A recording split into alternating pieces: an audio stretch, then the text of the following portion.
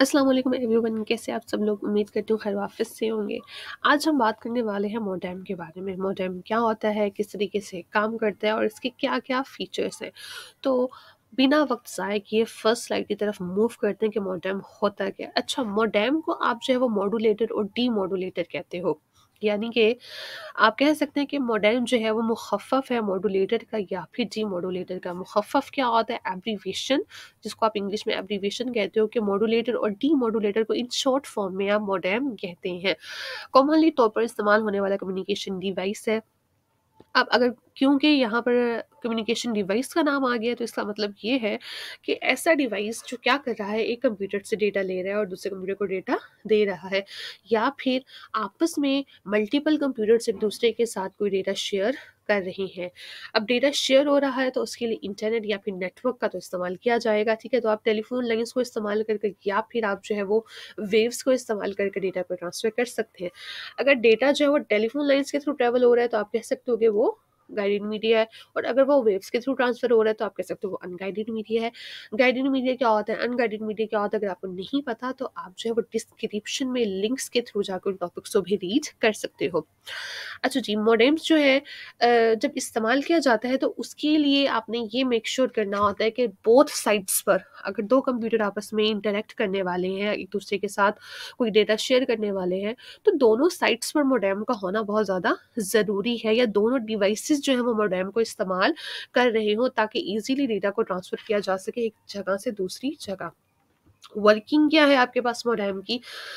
First of all अगर हम देखें तो कंप्यूटर में जो है वो डेटा बाइनरी फॉर्म के अंदर स्टोर किया जाता है ज़ीरो और वन की फॉर्म में। ठीक है? लेकिन जब आप उसको टेलीफोन लाइंस के थ्रू ट्रांसमिट कर रहे हैं यानी कि अगर आप जो है वो गाइडेड मीडिया इस्तेमाल कर रहे हैं तो इन्फॉर्मेशन को कन्वर्ट किया जाता है एनालॉग सिग्नल्स के अंदर, यानी कि इलेक्ट्रिकल सिग्नल्स के अंदर वेव्स की फॉर्म में देन फिर वो टेलीफोन लाइन्स के थ्रू एक जगह से दूसरी जगह ट्रांसफ़र होकर जाती है। तो मोडेम जो है रिसीविंग साइड पर डेटा को जो रिसीव कर रहा होता है रिसीविंग साइड कंप्यूटर पर तो वो क्या करता है? दोबारा से जो है वो कन्वर्ट कर देता है चीज़ों को एनालॉग से डिजिटल यानी कि यहाँ पर थोड़ा सा मैसी हो गई चीज़ें. फ़र्स्ट ऑफ़ ऑल होता क्या है कि जब एक कंप्यूटर डेटा को ट्रांसफ़र कर रहा होता है, ठीक है, वो सेंडर होता है तो सेंडर क्या करता है? डिजिटल सिग्नल्स को एनालॉग सिग्नल्स में कन्वर्ट कर देता है. तो रिसीविंग साइड पर कंप्यूटर जो होता है, वो क्या करता है कि वो डिजिटल फॉर्म के अंदर दोबारा से कन्वर्ट कर देता है एनालॉग सिग्नल्स को। तो हम कह सकते हैं कि जब आप क्या कर रहे हो सेंड कर रहे हो डिजिटल सिग्नल्स को एनालॉग सिग्नल्स के अंदर कन्वर्ट करके रिसीवर को तो वो है आपके पास मॉड्यूलेशन ठीक है? तो जब एनालॉग सिग्नल्स में कन्वर्ट हो जाता है तो वो इजीली टेलीफोन लाइंस के थ्रू एक जगह से दूसरी जगह ट्रांसफ़र हो जाता है। तो रिसीविंग साइड पे जो कंप्यूटर होता है, वो क्या करता है एक्सेप्ट करता है एनालॉग फॉर्म के अंदर डेटा को, उसको दोबारा से डिजिटल फॉर्म के अंदर कन्वर्ट कर देता है तो ये प्रोसेस क्या होता है डीमोडुलेशन होता है। अच्छा अगर आप ये सोचते होंगे कि सेंडर के पास जो है मॉडुलेटर डिवाइस होता होगा और रिसीवर के पास डी मॉडुलेटर डिवाइस होता होगा तो ऐसा नहीं है। एक ही मोडेम दोनों तरह के प्रोसेस को परफॉर्म करता है। डिपेंड करता है कि आप कौन सी एक्टिविटीज़ को परफॉर्म कर रहे हैं। अगर आप डेटा भेज रहे हो तो वो मॉडुलेटर के तौर पर काम करेगा, लेकिन अगर आपके पास डेटा आ रहा है तो वो डी के तौर पर काम करेगा। तो मॉडुलेटर और डी मॉडुलेटर में फ़र्क क्या है कि जब डिजिटल सिग्नल्स को एनालॉग में कन्वर्ट करके टेलीफोन लाइन्स के ऊपर ट्रांसफ़र करना होता है, तब आप मॉडुलेटर इस्तेमाल करते हो। ठीक है, जब आपने जो है वो एनालॉग सिग्नल्स से दोबारा डिजिटल सिग्नल्स में मोडेम की मदद से डेटा को कन्वर्ट किया तो वो आपके पास डी मॉडुलेशन कहलाता है। ये इतना सा प्रोसेस है जो मोडेम डिवाइस परफॉर्म करता है डेटा को एक जगह से दूसरी जगह ट्रांसफ़र करने के लिए। फीचर्स क्या है मोडेम के? इसका जो डेटा ट्रांसफ़र रेट है, वो बिट पर सेकंड से मैयर किया जाता है कि एक सेकंड के अंदर कितनी बिट्स को ट्रांसफ़र किया गया है।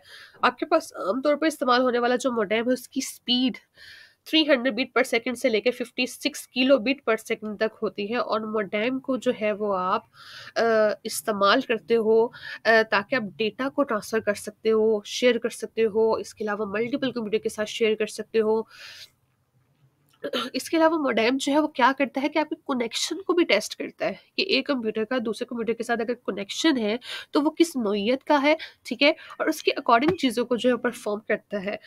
अच्छा जो नेक्स्ट जो इसका फीचर है वो ये है कि it can also test analogue connection with remote modem इसके अलावा ना सिर्फ़ ये कंप्यूटर के साथ डिजिटल कनेक्शन को टेस्ट कर रहा है, दूर पड़े हुए मोडेम के साथ भी जो है वो ये चेक कर रहा होता है कि आपका कनेक्शन किस तरीके का है। मोडेम जो है वो आपको वॉइस कन्वर्जन की फैसिलिटी प्रोवाइड करता है, ठीक है? ताकि आप वॉइस के फॉर्म में डेटा को भी एक जगह से दूसरी जगह ट्रांसफ़र कर सकें। बोथ सोर्स और डेस्टिनेशन मोडेम्स जो है उनके पास ये सेम फीचर्स का होना ज़रूरी है।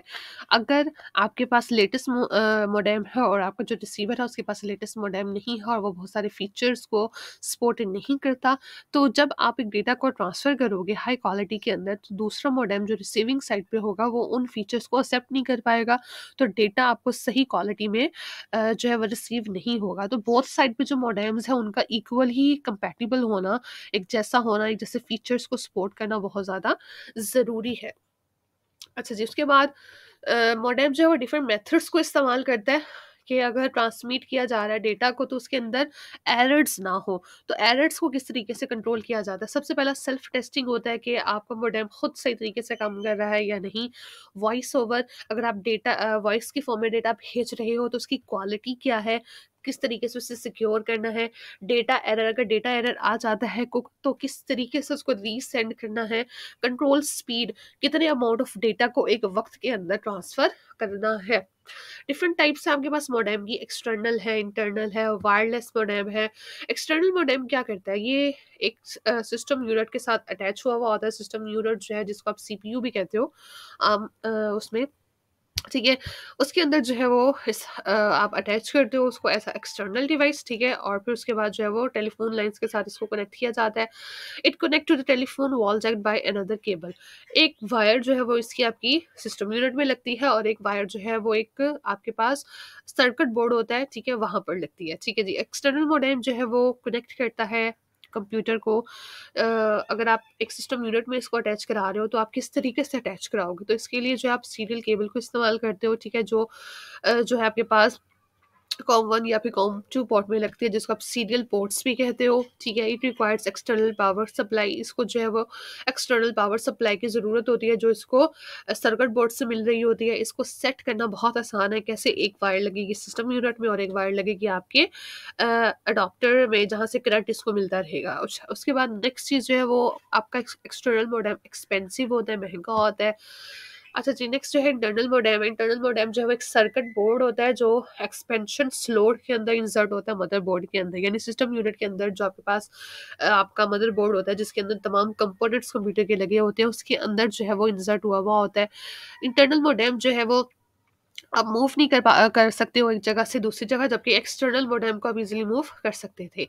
अच्छा जिसको सेटअप करना डिफ़िकल्ट होता है, ठीक है? आपको पहले सिस्टम यूनिट को खोलना पड़ता है, उसके अंदर से फिर इसको जो है वो निकालना पड़ता है, दोबारा लगाना पड़ता है, तो ये बहुत टाइम कंज़्यूमिंग काम है और इससे क्या होता है कि आपके डिफरेंट और कंपोनेंट्स भी अफ़ेक्ट हो सकते हैं। Less expensive as compare to external modem, ठीक है? एक एक सिस्टम जो इंटरनल मॉडेम्स के साथ ही बिल्ट इन आ रहा है, तो वो ज़्यादा प्रेफ़रेबल होता है कि आप खरीद लें, एज़ कंपेयर टू कि आप जो है वो एक्सटर्नल मॉडेम को खरीदें। लास्ट जो इसकी टाइप है वो है वायरलेस मोडेम्स ऐसे मोडेम्स जो डेटा को सिग्नल्स की फॉर्म के अंदर एयर के थ्रू ट्रैवल कराते हैं केबल्स को इस्तेमाल नहीं करते इसको आप रेडियो फ्रिक्वेंसी मोडेम भी कह सकते हो ठीक है इसको जो है वो डिज़ाइन किया गया कि आप सेलुलर टेक्नोलॉजी के साथ इसको इस्तेमाल कर सकें। ठीक है, सेलुलर टेक्नोलॉजी क्या होती है, ये एक अनगाइडेड मीडिया है, जिसको आप डिस्क्रिप्शन में दिए गए लिंक के थ्रू रीड आउट कर सकते हो। ठीक है, और वायरलेस लोकल एरिया नेटवर्क भी जो है वो उसके लिए बनाया गया कि आप ऐसा स्मॉल एरिया जिसमें आप केबल्स को इस्तेमाल नहीं करना चाहते और आप एयर के थ्रू जो है वो चीज़ों को शेयर करना चाहते हो एक पर्सन के साथ मल्टीपल पर्सन के साथ या फिर कोई इंपॉर्टेंट फाइल्स वगैरह शेयर करना चाहते हो तो वहाँ पर आप वायरलेस मोडेम्स को इस्तेमाल कर सकते हैं। यही बार हमारा लेक्चर है, अगले लेक्चर में तब तक के लिए खुदा हाफिज़।